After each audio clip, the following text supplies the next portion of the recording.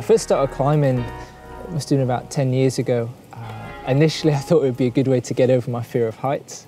Uh, it didn't happen straight away given that, but uh, slowly over time I managed to, to work on it and as I became more used to it, I managed to get over my fear of heights.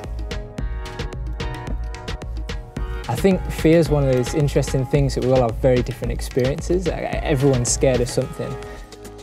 And I think my fear of heights was one. I think the one that probably affected me more was my fear of um, what other people thought of me and my fear of other people's expectations and always having to meet those. Um, I think when you set yourself up like that, there's almost a, a great dissatisfaction of never being able to meet other people's uh, expectations and never being able to meet those levels. And I guess the, the fear of that was something which really affected my life. I think being a Christian really changed that because uh, I have a God who, who loves me and says that my, my value is fixed and my worth is, is really unchangeable. Um, and to have a God who says that about me means I don't need to be afraid and don't need to be fearful of other people's opinions. And I think what's amazing is that has really uh, freed me up from that fear.